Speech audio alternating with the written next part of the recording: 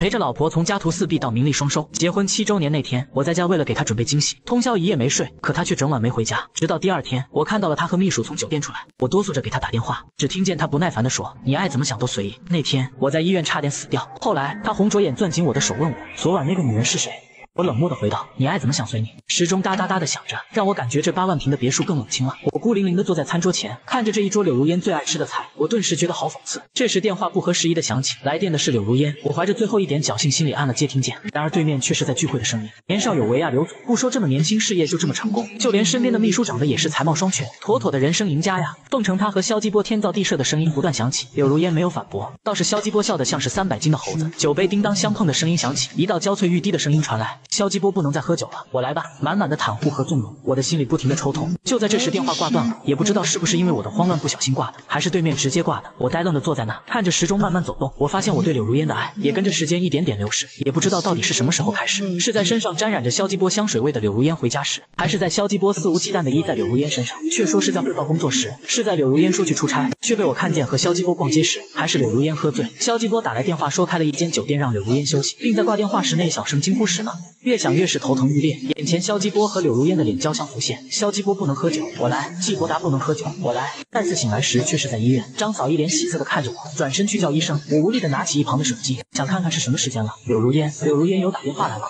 刚打开屏幕，一条刺眼的新闻就蹦了出来。柳氏集团掌门人柳如烟被拍和秘书今早从同一房间走出，两人疑似好事将近。文章贴心的附上几张高清图片，高清到都不像是偷拍。画面中，肖基波含情脉脉的望向柳如烟，爱意都要从屏幕中溢出。柳如烟的脸偏过去，看不清神色。我心里的什么东西砰的碎了，痛极了，手却忍不住放大图片去看每一处细节，逼迫着自己心死。下方评论区清一色的祝福，只有几条评论弱弱的说：“柳如烟好像已经结婚了吧？”但他们不是被更多的评论淹没，就是被 CP 粉们攻击到不敢再发言。我轻笑一声，其实我跟柳如烟算隐婚。我们结婚的时候，她还一无所有，没人会在意她嫁了谁。后来我陪着她功成名就，她每天职业偶尔加巴黎世家出席各种活动，而我却为了她的事业熬垮了自己，只能待在家里吃药调养。没人希望自己憔悴病态的模样被媒体拍到，我也是。柳如烟也未在公众面前承认过结婚，不知是不想还是没有考虑到。反观肖基波，毕业于名牌大学，年轻力壮，长得帅，还会穿搭，一毕业就进了要求严格的柳氏，做柳如烟的秘书，各种聚会都是他陪在柳如烟身侧。他们可符合大众对童话中爱情故事的向往了。女霸总是身边需要的是一个年轻帅气的男人，而不是一个关在家里敏感多疑的精神病。看着那些炒作新闻，我心中不是没有嫌隙。柳如烟不是明星，柳氏集团也不需要炒作盈利。明明只要一句话便能解决的问题，大家却都心照不宣的没有去提过。当我忍无可忍，拿着那些新闻去表达我的不满时，却只得到肖基波一脸单纯和歉意的说：“哥哥，我们那是工作需要，你不会介意吧？”柳如烟则是轻描淡写道：“我总得有人在身边打点，你是知道我只爱你一人的。”他们两人如此，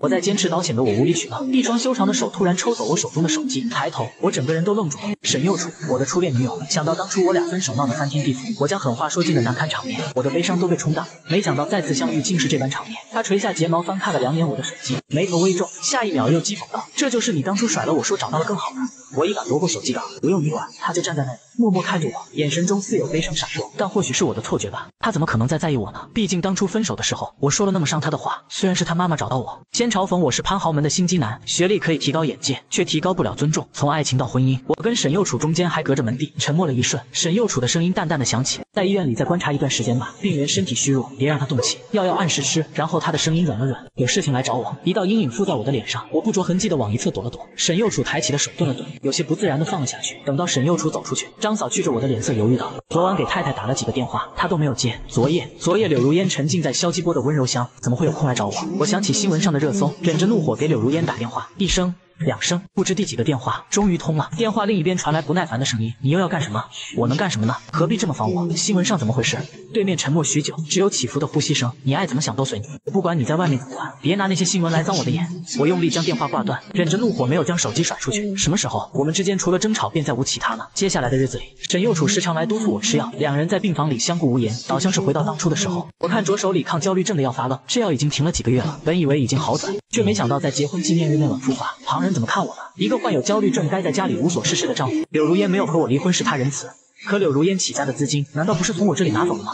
我为了她卖掉自己的工作室，和她一起从头打拼。她柔情似水的劝我在家休养时，有想到有朝一日会嫌我在家不能帮她吗？自我住院后，她近一次也没有来，没有电话。没有短信，我见到他的方式只有电视上他又带着肖继波去参加什么活动。在又一次焦虑症发作后，我闹着要见柳如烟，我怕我现在不见他，他就要被别人夺走了。张嫂被我闹得没有办法，在一旁抹着眼泪给柳如烟打电话。看见张嫂哭，我心里难受也跟着哭，可是我控制不住我自己，只觉得焦躁。不知第几个电话，柳如烟终于接通了。听完张嫂讲完，她那边只有淡淡的一个嗯就挂了电话。我感觉自己被困在一个房间出不去，身体在发狂。他会来吗？张嫂抱着我一遍又一遍说：“好了好了，他马上就来了。”泪眼婆娑间，我好像看见沈幼楚站在门口，悲伤的看着我。不知过了多久，病房门被推开了，柳如烟穿着风衣，带着外面的寒气匆匆打来。我刚刚打完镇定剂，有气无力的倚在床上看他。看见我的一瞬，柳如烟愣了一下，几步走向前问道：“怎么这么严重？”张嫂不是告诉过你吗？我抬眼，现在的我没有力气和他理论，你要装作不知道吗？他手足无措了一瞬，下一秒又握住我的手。对不起，博达，我以为你以为又是我逼你来看我耍的手段是吗？我抽出自己的手，直勾勾的看着他，看着看着，眼泪就忍不住又流下来，委屈的情绪溢满胸腔。柳如烟轻声细语的安抚着我的情绪，一点一点为我擦干眼泪。待我情绪稳定了，他才起身要去给我买粥。他走的匆忙，连手机落下了都没有注意。我拿起他的手机，密码还是我的生日。我会心一笑，点开了他和肖继波的聊天记录，简洁，公事公办。是我想多了吧？我滑动着手机，阴差阳错间点开了相册，在一众我的照片和文件照片里，一张肖继波的。睡颜突兀的闯了进来，午时阳光正好，我却浑身发凉。图片里是我离开公司前的办公室，肖继波就堂而皇之的坐在我的位置上，趴在一堆文件中写气，身上披着的是我买给柳如烟的外套。再画是我含笑搂着柳如烟肩的照片，再画是我在海边度假时柳如烟抓拍的照片，我的脸上还沾着沙子。再画是柳如烟陪我过二十八岁生日的照片，可这些照片在肖继波照片的衬托下，倒像一个笑话。我又返回了微信，点开肖继波的头像，聊天记录可能删，朋友圈总不可能删。肖继波的朋友圈很少，不过是出差时的照片和日常。透过出镜的一些衣角。和背影，我一眼就看出是柳如烟，谁会认错自己的枕边人呢？原来他口中的出差，也是可以趁空闲时间带着肖基波去景点打卡，一条一条，柳如烟每一个都有点赞。他以前从来没有看朋友圈和点赞的情况。我们谈恋爱时，我还因此和他闹过脾气，可他还是不看。他说我只要你真真切切的陪在我身边就可以了，何必透过照片去了解你呢？原来不是不看，只是觉得不值得。肖基波的朋友圈最新一条是在炫耀一条八十八公斤重的二十四 K 大金链，配文最好的生日礼物。柳如烟在下面留了一句，可你很配。肖基波回道，下次你来我家，我带给你一个人看。那条项链我曾在柳如烟车里见过，包装精美。我悄悄掀开盒子看过，是我喜欢的风格。我逛街时曾碰见过这条项链。服务员说目前国内只有一条已经被预定了，如果我要的话可以从国外运来，被我婉拒了。当在柳如烟车里看到时，我心里说不出的惊喜。我以为会是我们结婚纪念日的礼物，原来不过是我自作多情。柳如烟回来时，我把手机放在原位，拿起自己的手机装作在玩原神。柳如烟端起一碗粥，我抑制住自己内心深处的恶心，佯装不经意的问道：肖基波交女朋友了吗？他来你公司也有些年头了，不能光围着你忙，要不我给他介绍一个女朋友吧？柳如烟的眉头皱了皱，半晌道：“不用，他还不急，不急，是不急还是不舍得？”我看着他突然爆发，只带给你一个人看，你们恶不恶心啊？柳如烟，我只问你一句，你不回家的时候有没有住在肖继波家？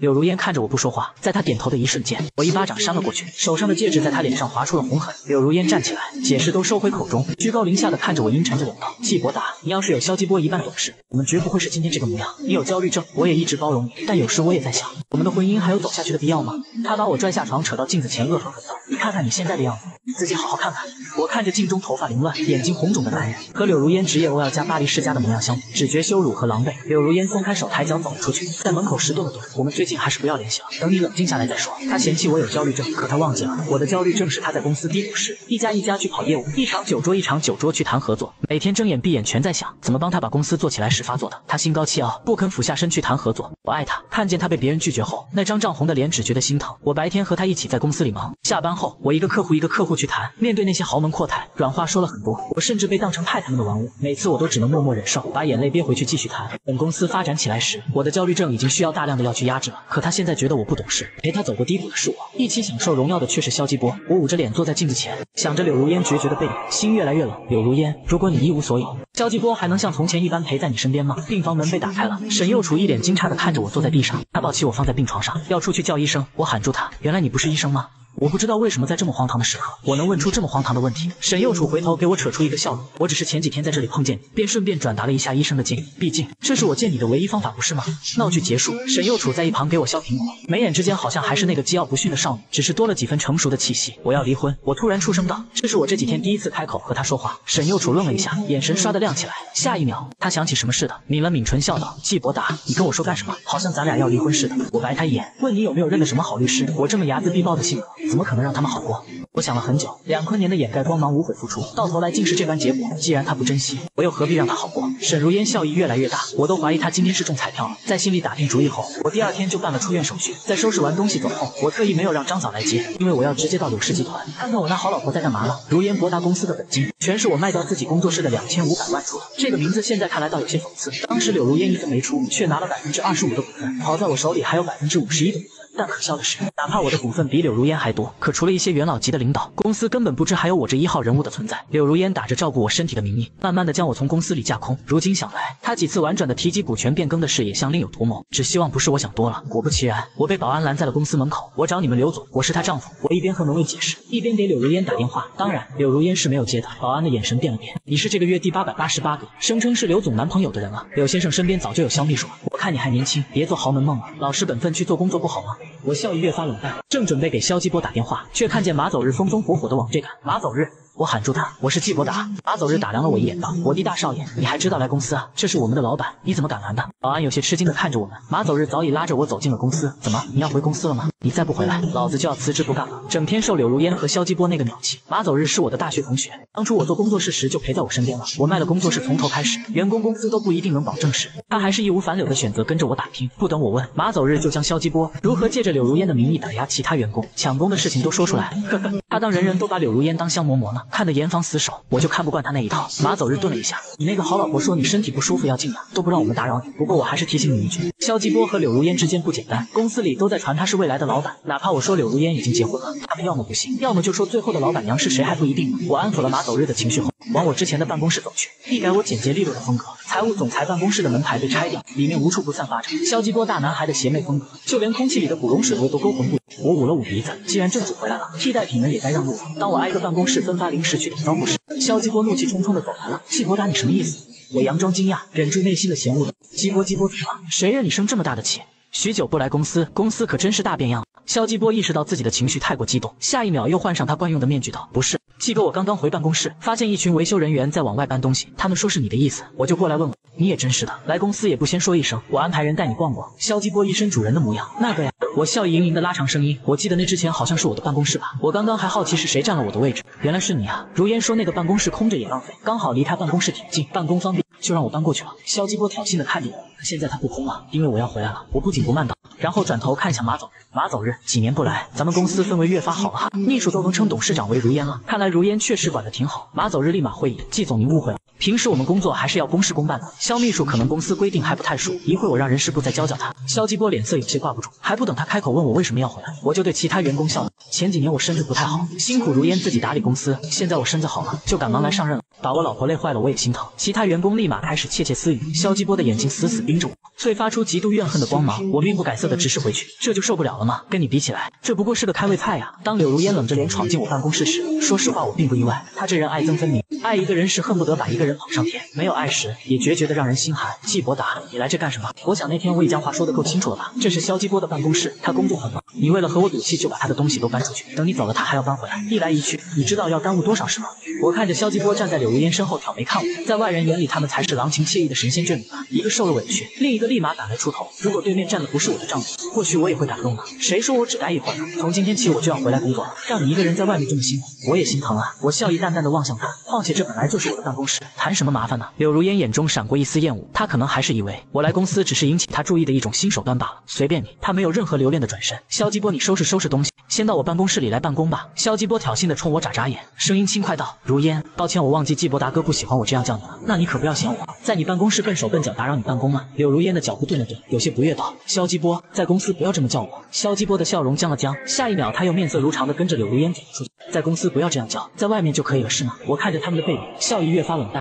好不容易送走他们两个人，我开始翻看这几年的财务报表。经过刚刚那一幕，我心里不是落是假的。这几年的相处，便是个物品也是有感情的。但我知道，越是这个时候，我越要沉得住气。如果不能及时止损，便是被他拖入深渊。我必须先了解公司近况，才能有几分胜算。我不是要报复谁，我只是想，至少要把属于自己的东西拿回来吧。越看财务报表，我的眉头皱得越深。在大学期间，我学的便是金融，这报表看上去没有问题，却给人十分怪异之感。难道是假账？当我脑海中蹦出这个念头时，我自己都吓了一跳，这可是犯法的。柳如烟同是学金融出身，她不会不知道，但她心高气傲，怎么会干这种事？纵使我对她逐渐陌生，我也不相信她会做出这种事。或许是我猜错了，心里这么想，我的手还是点开公司内网，开始一点一点扒公司的每一笔收入和支出，又查找了供应商当时公开的定价信息和柳氏集团的售价。虽然这件事可能性很小，但这也是我夺过公司掌控权的一个好契机。翻看了一下午，我都没有看完，只怪我自己这几年来竟如此大意，对公司竟一点都不询问，自己的血学也都放下了。现在只好好一点一点拾起来。尽管我还没有查完，我心中却已经有了一个令人震惊的信息：柳氏集团在做假账。得知这个消息后，我整个人都有些恍惚。柳如烟这是自毁前程，她天资聪慧，完全不必使这种手段，这只会增加给她人生留下污点的东西。她到底为什么要这么做？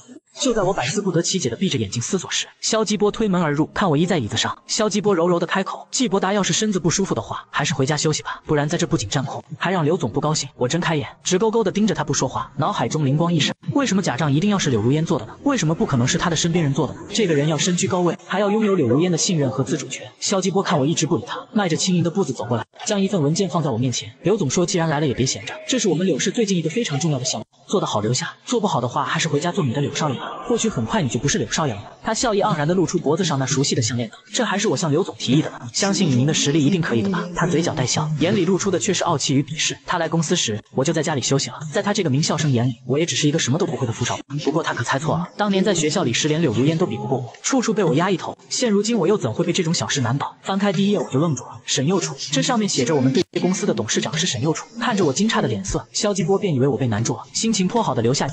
可别让刘总失望啊！就翩然离去。我看着他娉娉袅袅的背影笑了。柳如烟会不会失望，我不知道，但你可能要失望了。好不容易到了下班时间，我提起包便向外走。虽然我今天没有让司机送我来公司，但说实话，我走时也是想打车回家的。我不想再与柳如烟有什么纠葛。可场面在我走出公司，看见肖基波要坐上柳如烟的副驾驶时，变得异常尴尬。公司员工出来吃晚饭，刚好看见这一幕，这狗血的剧情让他们不自觉地伸长脖子向这看。本身他们就在掂量我和肖基波谁在柳如烟心里的分量重一些。这种看戏的时刻，谁也不想错过。尽管我不想坐柳如烟的车。但众目睽睽下，我更不想让肖继波占上风。于是我走过去，悄悄车窗。如烟，咱们公司什么时候流行老板送员工回家了？我之前倒没发现你这么有心。柳如烟愣了一下，对肖继波说道：“下去。”这女人倒是冷心冷情，这么一个阳光开朗大男孩，在自己身侧也好意思将他赶下去。前几天不还替他挡酒吗？我摁住不情愿起身的肖继波，抬起身对在远处看戏的马走日喊道：“马走日，快来！你老板善心大发，要亲自送员工回家了。这个时候不表现一下自己，什么时候表现自己？”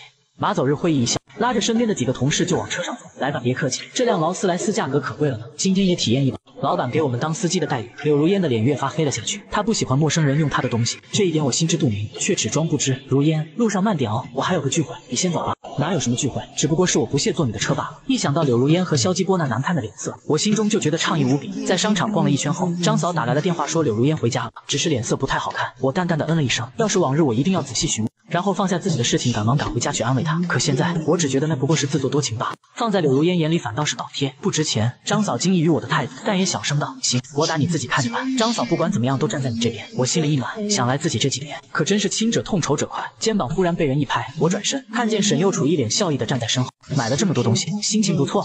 这距离有些过近，我下意识的后退一步，拉开距离。沈幼楚脸色暗了一瞬，下一秒面上又是温柔的笑容。还没吃晚饭吧？我知道附近一家不错的店，一起去试试。想到今天在计划书上看到他的名字，我点点头。以我一个人的力量要扳倒柳如烟并不容易，最好的方式还是找一个合作伙伴。沈幼楚选择了一家简单的中式餐馆，装饰的简单大方，私密性很好，倒和我小时候想拥有的一家属于自己的餐馆很是相像。沈幼楚点了几个菜后，将菜单递给了我。我记得你之前喜欢吃这些菜，这么些年也不知道你口味有没有改变，你再选一选吧。我看着菜单上勾选的都是符合我口味的菜品时，心里有些异样。我合上菜单递给服务员，沈幼楚，你不必如此。现在我要还看不出他对我余情未了吗？我就白在商业上混那么多年了。开门见山的说吧，我今天在公司计划书上看到你是我们合作伙伴的董事长，这就是我为什么答应和你吃饭的原因。即便今天你不偶遇我，我也会去找你。我顿了顿，看向沈幼楚的眼睛，我想要和你联手。等我拿到公司后，这次合作我会再让三个点给你。虽然很不耻，但确实我是有利用我们之间曾经的感情的心理。沈幼楚苦笑了一下，果然你还是这般直爽的性格。你不用觉得不耻，这次合作对我也不是没有好处。你不也让给我三个点了吗？手机突然响起，打断我们的谈话。我低头发现是柳如烟，我伸手挂断电。话又一次打来，锲而不舍。这一次我没有选择挂断，而是直接将手机关机。沈幼楚示意我要是忙的话就改天再约。我摇摇头，现在柳如烟对我来说不过是一个无关紧要的人罢了。一餐下来，心情很愉悦。沈幼楚知识渊博，却又不是教导的态度。只是引导你去思考。和他聊天让人感觉很放松。临走前，沈幼楚想要送我回家，我摇摇头。今晚我准备找个酒店凑合一下。回去和柳如烟吵架吗？何况我要查柳氏集团的财务情况，回去也不方便。沈幼楚将我送到一家酒店后，又觉得将我一个人留在这里不安全，自己又开了一间房。当我们一起走进电梯时，却没在意暗处亮起的闪光灯。第二天，当我走进公司时，柳如烟不知从哪冒出来，把我扯进总裁电梯。她眼下泛青，整个人看起来暴躁又憔悴。昨天晚上的女人是谁？他攥紧我的手腕，力气之大让我竟有点痛。你就这般不自爱吗？他另一只手拿着手机，上面的照片赫然是沈幼楚和我在酒店前台的背影，和我俩站在电梯里，沈幼楚偏过头和我说话的画面。不过或许是角度原因，不仅将他的脸遮了个严实，也像他要吻我似的。我松了一口气。如果现在就发现我和沈幼楚在一起，柳如烟的警惕可要高上很多。我仰起头看着他，你爱怎么想随你。他眼睛发红，将手机摔在地上。这就是你夜不归宿的原因。我昨天在家里等你等一夜，要不是我拦着，今天满城的新闻都得报道这件事。他一只手紧紧攥着我的腰，眼剑就要咬住我的唇。叮的一声，电梯到达顶层，我挣开他的手往外走去。到了电梯门外，我扭头道：“原来你不是不能，只是不想。”我指的是什么？他心知肚明。毕竟他和肖基波上热搜可不是一次两次。接下来的日子也算相安无事。肖继波继续每天走在柳如烟身侧，我倒像个公事公办的员工。只是柳如烟时常来我办公室转一转，这次带个四千零九十显卡，下次带个八十八斤重的信衣。我冷眼看他，不搭理。我不是很明白柳如烟想要做什么。那天不是他将话说得很决绝吗？终于到了汇报的那一天，柳如烟在走进会议室时叫住我，低声道：“一会儿不用紧张，万事有我。”会议结束后，我有话对你说。我心一颤，看着他远去的背影。如果他早一些能够在我无助时说出这些话，或许我会欣喜若狂。但今天想起昨天和沈佑楚发的信息，我知道这可能是是他最后一次这么心平气和的和我说话。会议有条不紊的进行着。当我上去汇报时，三道视线紧紧的跟着我。沈幼楚温润的用眼神鼓励着我，柳如烟眼眸深深的望着我，而肖基波，他眼神闪过一丝惊诧后，又是胸有成竹的笑意。当汇报进行到最后一页时，原本是产品的宣传片，却变成了我和沈幼楚在酒店楼下的影片。会议室一片抽泣声和窃窃私语，我立马明白肖基波刚刚的笑意是什么意思了。这个视频曝光，众人只会以为我和沈幼楚出轨。柳如烟心高气傲的模样，怕也容不下我。离婚是迟早的事，他可不趁机名正言顺的上位。柳如烟沉着脸出声：“谁负责的放映设备检查？这种合成的视频也有人信？”关上会议继续，他握着笔的手青筋凸起，面上还是一副公事公办的角色，瞥向肖基波一眼，一锤定音，将这场闹剧说成合成视频，尽全力保全了我的脸面。肖基波的脸色一变，急急出声：“季伯达，你就是在想拿下这个项目，留下也不能是这种手段啊！”柳如烟斥道：“肖基波，你给我适可而止。”我看着台下众人，等着视频放完，才缓缓道：“这个视频也太没意思，只拍了我们一起走进电梯的画面，怎么不拍我们走进同一间房的画面呢？”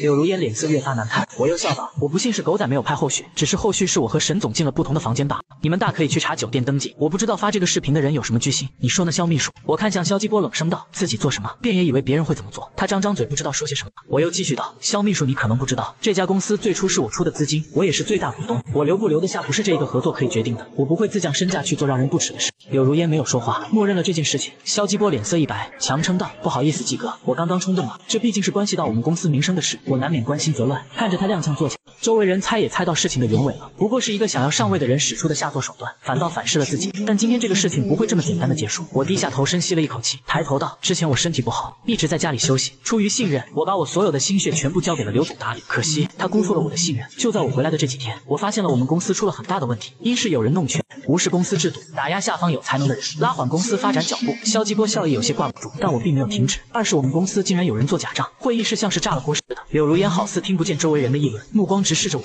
这也是我为什么和沈总相见的原因，因为这件事情着实让我震惊。我已经上报相关机关进行检查了。话音刚落，会议室的门被打开了，一群公职人员走到柳如烟和肖基波身边，出示证件，请他们配合调查。柳如烟深深的看我一眼，站起身走出去。肖基波脸色发白，喊道：“他有焦虑症，他是个精神病。他的话你们也敢信吗？他不过是想借此独占公司，公司交到他手里就完了。”沈右楚站起身道：“肖先生，什么年代了还有心理歧视？这个公司能有今天，就是季伯达自己一个生意一个生意去谈出来的。你先看一下自己的嫉妒心吧。还有，你指使别人偷拍我和博达视频，毁坏我们名誉的事，我会让我的律师和你对接的。”经过一番手忙脚乱的突击检查，做假账的事情终于水落石出，是肖基波。他在偶然一次尝到做假账伪造业绩的甜头后，便一发不可收拾，借此伪造工作成就，青云直上。柳如烟反倒一直被他蒙在鼓里。闹剧的结局便是肖基波被送进监狱，只怕他要在里面待上一段时间了。他被送进监狱的那一天，我特意去看他，他头发凌乱，眼眶泛红，口里一直喊道：“都是你，是你害我！明明我马上就成为肖少爷了。”我叹息一声，到今日我心里没有胜利的快感，反倒有一些惋惜。若他脚踏实地的努力奋斗，未尝没有光明的未来。但作为一个公司的董事长，柳如烟真的毫无察觉吗？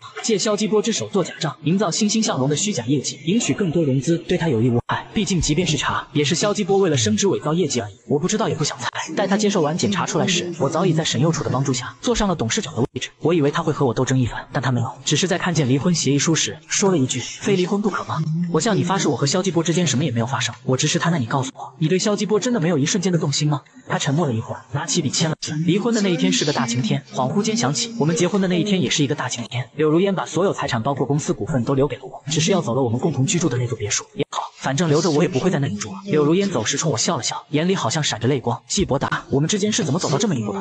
我不知如何回答他，他可能也并不需要我的回答，答案都在我们之前的点点滴滴。季伯达。一道温柔的女声在我身后响起，我回头看见沈幼初手捧九十九斤重的二十四 K 大金链，立在车旁冲着我笑。他的背后是正在发光的太阳。我深吸一口气，或许是时候开始一个真正属于我的新生活了。以下是番外：季伯达和我离婚了。当我一个人回到别墅时，张嫂早就不在了。她本来就是季伯达请来的阿姨。季伯达走了，她自然也不会留下来。这个别墅，我有段时间没回来了。上一次回来，还是季伯达刚回公司给肖继波难看的那一天。那一天，是我好久没见到那么鲜活的季伯达了，充满活力和干劲。我本来回来想和他好好谈一谈的。他要是想回公司，便回去，我多。照顾他一些，可我在家里等了很久，他都没有回来，打电话也不接，后来干脆关机。我当时十分生气，当手机摔倒地上发出砰的一声时，我才恍然大悟。季伯达每次在家等我，我不接电话时也是这么无助吗？我坐在餐桌旁，看着时钟慢慢走动，满桌子的菜我毫无食欲。想起以前回家，满桌子的剩饭和季伯达越发消瘦的身形，关心的话到嘴边就变成了多大人了，难道不会好好吃饭吗？昏昏沉沉间，肖继波突然发来两张季伯达和一个陌生女人在酒店的图片，说是从媒体朋友手中拿到的。看着照片中季伯达发自身心的愉悦和信任，我的心就像被人大力撕扯一般痛。我着了魔似的不断放大查看图片。第二天，我将季伯达拉到电梯质问他，他云淡风轻的让我爱怎么想都随意。我愣住了，走出电梯后，他眼神受伤的看了我一眼，问我，原来我不是没有能力去处理之前我和肖继波的花边新闻，我任由他们在网上流传，我那是太忙了，我没有办法骗自己。我只是认为季伯达不会真的生气，毕竟他那么爱我，我们有七年的感情。我幡然醒悟，我有种预感，如果我现在不能紧紧抓住季伯达，我就要永远失去他了。我开始有事没事往他办公室送一些男生喜欢的礼物，虽然每次他都不理我，只是埋头做自己的事情，但我心里很高兴，好像又回到我们刚开始谈恋爱的时候。季伯达不会不爱我，我准备在那场会议后对季伯达道歉，我会好好待他，我们还像从前那样。进会时，我看见合作公司的负责人沈幼楚走进来时，心里莫名有股熟悉感。这种熟悉感在屏幕上放出沈幼楚和季伯达的视频时找到了。沈幼楚就是那晚和季伯达在一起的女人。我让人关上视频，声称是合成视频。不管怎么样，我都不能让季伯达离开我。季伯达出奇的平静，平静到我有些害怕。他看了我一眼，眼神复杂，恨意、歉意、不舍。我心里告诉我应该立刻叫停会议，事情马上就要脱离我的掌控。但不知为什么，我坐在那里没有动，只是看着台上的季伯达。果然，他说公司做假账的事情，公职人员一拥而入时，我没有慌张，因为我没有做那种事，那是肖基波做的，我知道，但是我没有制止。十八岁心高气傲的柳如烟，看到现在的我，估计会气得上来给我一拳。我心里有一瞬伤感，我回头深深看了季伯达一眼，他就那样站在台上看着我。柳如烟，你把季伯达弄丢了。我对自己说，肖基波被捕入狱，我接受完检查后就出来了。季伯达已经接手公司，成为董事长了，我不意外。在学校里时，他就光芒四射，当时我都怕别人把他抢走。当他拿出离婚协协议书时，我也。没有意外，我们走到这一步，没有办法装作什么都没有发生般重归于好。鬼使神差的，我开口道：“可以不离婚吗？”季伯达看着我，问我有没有对肖继波动过心。我愣住了。肖继波是在我劝季伯达回家休息后加入公司的。公司初创时期事务繁多，季伯达又有焦虑症，夜夜睡不好觉。我不忍心，便劝他回家休息，一切有我。可这条路哪是那么好走的？我在外面各种奔波，年少时蔑视天地的傲骨被慢慢磨平。回到家，季伯达心情不好，我还要哄着他。季伯达也怕影响我，便竭力控制自己的情绪，直到我看到他的药量加大，公司里的烦心事我就更不和他说了，怕加重他的病情。肖继波便是在这时加入公司的，他很像季伯达，